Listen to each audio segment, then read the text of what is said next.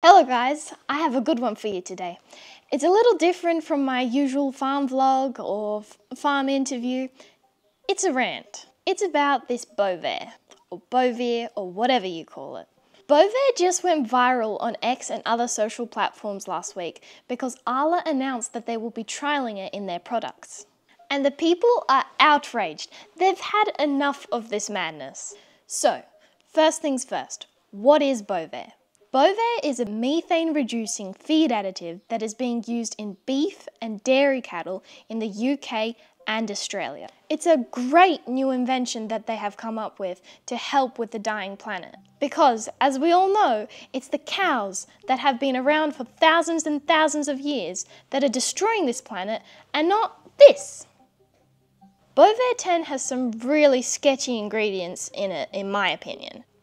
It contains silicon dioxide, propylene glycol, and 3-nitrooxypropanol.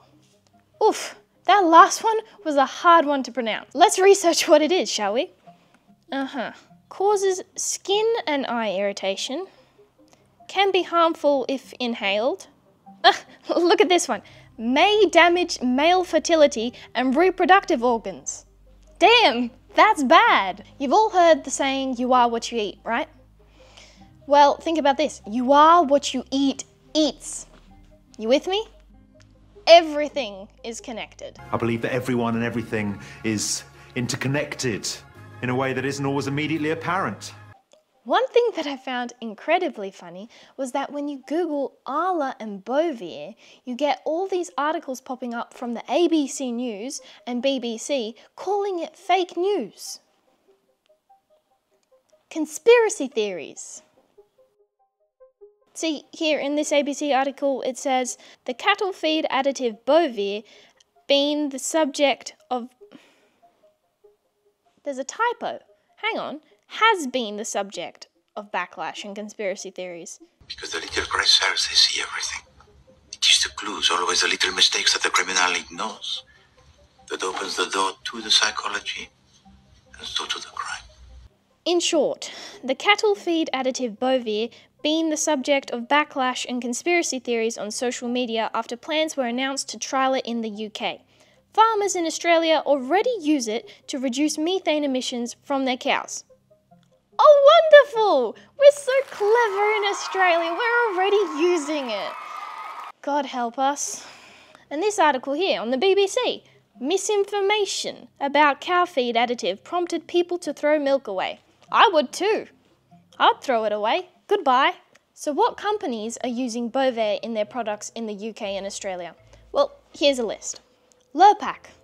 Well, that's off the list. Plus, it has seed oil, so mm-mm. Coles. Oh, great. Don't shop there anymore. Woolworths. Yep. Arla Foods UK products. Sorry, UK. Muller products. Anchor Butter. McDonald's. I, I stopped going to McDonald's when I was like seven or eight. We used to go there once a year for a special occasion to get the fries. But not anymore. Goodbye, McDonald's. Costa Coffee. Own label dairy products in Tesco and M&S. Aldi Australia. Lidl Great Britain. Oh gosh, guys. A moment of silence for this one. Um, people, this is this is very sad. Cadbury, Australia. That's a big one. All right, next. Nestle or Nestle or whatever you pronounce it. Choco Mars, Mort and Company, North Australia, Pastoral Co.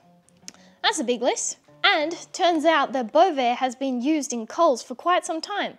It says in this article that they've been using it since 2022. I don't know about you guys, but I am sick of this. And this has only strengthened my desire to own some land and to have a few Jersey cows for that raw A2A2 non GMO grass fed Jersey cow milk. If you are just as annoyed as I am and want to boycott these companies, then I highly suggest you buy your meat and milk from a trusted farmer. If you want great clean beef, I suggest you buy from Wolke Farm, Bello Beef, or even Hillside Food Forest. If you want milk, Go buy your milk from Hastings Riverlands Dairy, Tilba Tilba Dairy, or even Norco Organics. For those of you that are more scientifically minded, you might want to check out Brett and Heather Weinstein's new video about Bovaer. The link is going to be in the description. To basically summarize, it's an enzyme inhibition of the ruminants, i.e. cows' fermentation digestion process, by about 20%. What could go wrong? You know how some people take digestive enzymes after a meal? Well, this is kind of the opposite. At least that's what my dad says. So tell me, what do you guys think about this new feed additive? Let it rip down in the comments. If you guys want to support and keep in contact with me, go subscribe to my newsletter because you never know when my channel might get taken down. Then there's also Rumble, just as a safety net. Go subscribe to Rumble. I'm committed to this journey. Are you? Let's go! Thank you for watching and see you next time on Chilli's Farm.